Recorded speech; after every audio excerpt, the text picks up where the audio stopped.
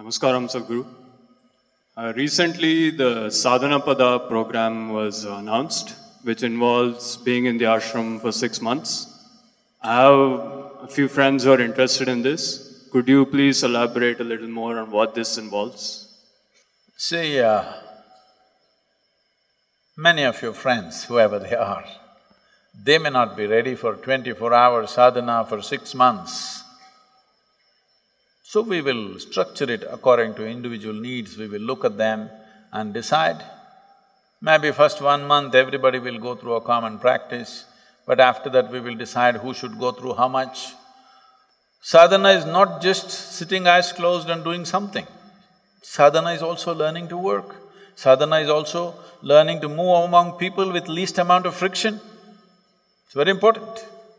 You may be meditating as much as you want, but if you're all thorns on the outside and move around, uh, the other people will make sure your meditation doesn't work after some time. Don't underestimate those people Yes, do not underestimate the people around you. If you walk around with thorns all the time, I'm meditator like this, ah, they will make sure your meditation doesn't work after some time. So, sadhana is also about moving in the world with least amount of friction. I've said this many times. In the Far East Asian cultures, an enlightened being is always referred to as an enchi. Enchi means a circle. The wheels of your cars and every other vehicle is round in shape. Why? Because it's a shape which moves with least amount of resistance. A triangular wheel would definitely be far more jazzy. Hello? Just look at your car, how it would look. But least amount of resistance. So this is very important, that when you walk about in the world, you move with least amount of resistance. Otherwise, outside situations will occupy you for the rest of your life.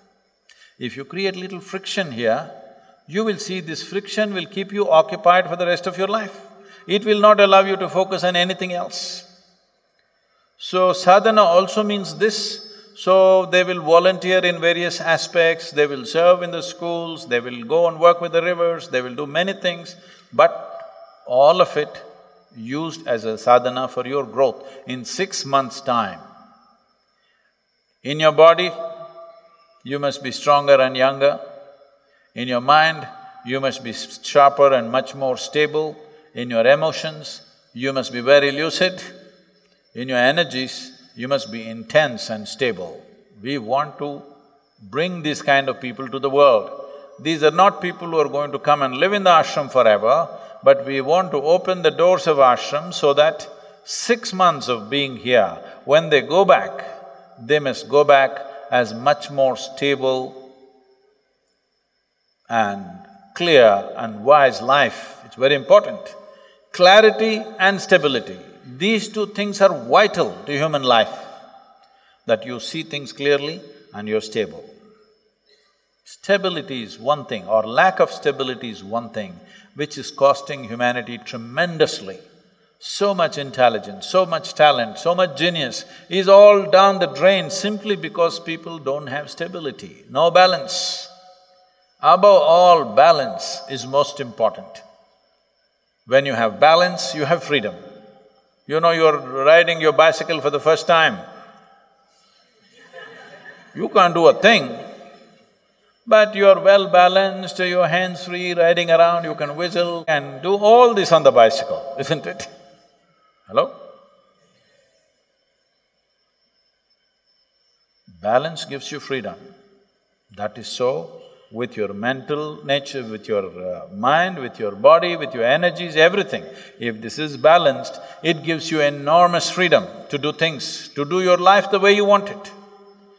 So we want to see that people who are working in large businesses, people who are in the government, people who are in important positions, take this six-month break and invest upon their own growth, clarity and balance. If these two things happen, we will have better human beings and a better world for sure. So this is what this sadhana pada is about and uh, some of them were asking me, but if I want to take a break from my corporation, will you give me a certificate? I'll give you a certificate, what's… what's the problem with a piece of paper? I never collected any of my certificates ever. But it didn't mean anything to me, but if it means something to your corporation, we will write a certificate for you, what is the problem? But the important thing is, have you brought little more clarity and balance into your life? This is important. How effective a life you will be is essentially determined by what is the level of clarity you have and how much balance you have. This will allow you the freedom to traverse this life as you wish. Otherwise, naturally you will lock yourself up in your box.